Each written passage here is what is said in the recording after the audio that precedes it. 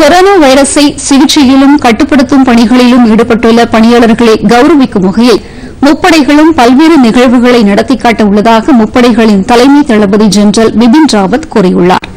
புதுதில்லியில் நேற்று செய்தியாளர்களிடம் பேசிய அவர் கொரோனா போராளிகளை கௌரவிக்கும் வகையில் இந்திய விமானப்படையின் போர் விமானங்கள் ஸ்ரீநகர் முதல் திருவனந்தபுரம் வரையிலும் திப்ரோகர் முதல் கொச்சி வரையிலும் வானில் வண்ணங்களை தூவும் நிகழ்வில் ஈடுபட உள்ளதாக கூறினார்.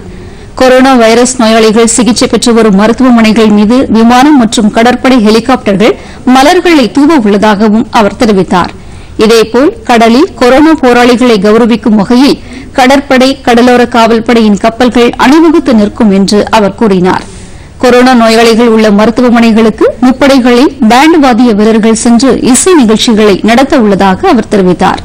இதேபோல் காவல்துறையினரை கௌரவிக்கும் வகையில் காவல் நினைவு சின்னத்தில் முப்படையின் தளபதிகளும் மரியாதை செலுத்த உள்ளதாகவும் அவர் தெரிவித்தார்.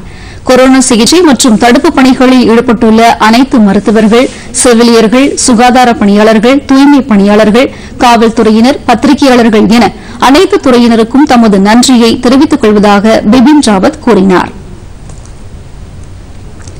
இதற்கிடையே இந்த அறிவிப்பு குறித்து டுவிட்டரில் கருத்து தெரிவித்துள்ள பிரதமர் நரேந்திர மோடி பாதுகாப்பு படை தலைவர் அறிவித்துள்ள இந்த அறிவிப்பை நான் பெரிதும் வரவேற்கிறேன் என்றும் கொரோனா தொற்றுக்கு எதிராக முன் வரிசையில் நின்று போராடும் மருத்துவர்கள் செவிலியர்கள் காவல்துறையினர் துப்புரவாளர்கள் ஆகியோர் மிகவும் உன்னதமான சேவையில் என்றும் குறிப்பிட்டுள்ளார். அவர்களுக்கும் அவர்களது குடும்பத்தினருக்கும் நாடு கடமைப்பட்டுள்ளது. அவர்களது சேவையை மனது பாராட்டுகிறது.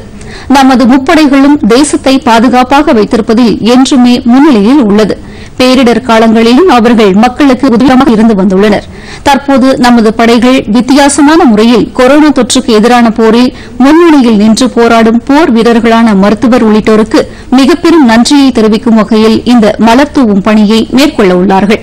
அவர்களுக்கு எனது பாராட்டுக்கள் என்று பிரதமர் தமது டுவிட்டர் செய்தியில் கூறியுள்ளாா்